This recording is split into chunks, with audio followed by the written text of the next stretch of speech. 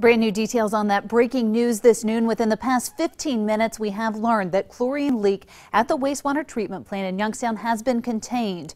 But this situation is far from over. Emergency crews just shut down part of Himrod Avenue.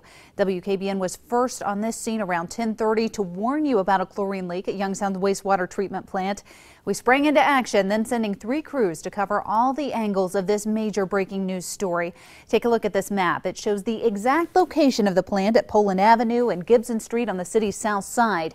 Even though the leak is contained, businesses in the area remain evacuated and people working in that neighborhood are being told to shelter in place if they smell the gas.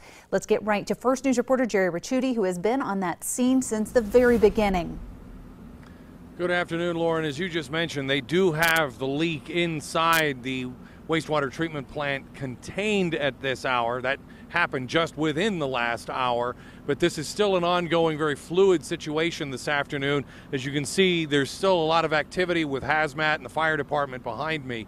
This started about quarter after nine this morning. We're told as crews were switching two 2,000 gallon tanks of chlorine. One of them began leaking, causing this facility to be evacuated immediately but within an hour's time, they evacuated the uh, Performance Place Industrial Park directly across Poland Avenue to the north and east of the wastewater treatment plant.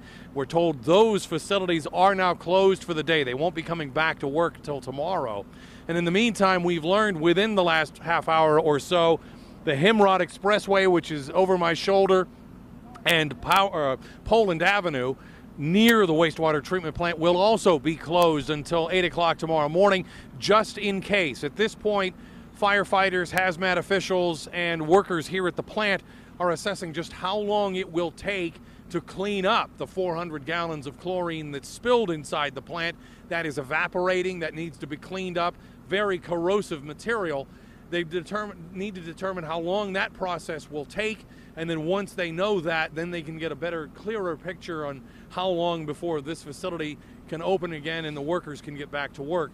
But at this point, as we've said, within the last half hour or so, we've learned the Performance Place Industrial Park will be closed for the rest of the day.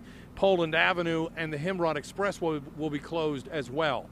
We'll have much more coming up later in this newscast. For now, Lauren, back to you.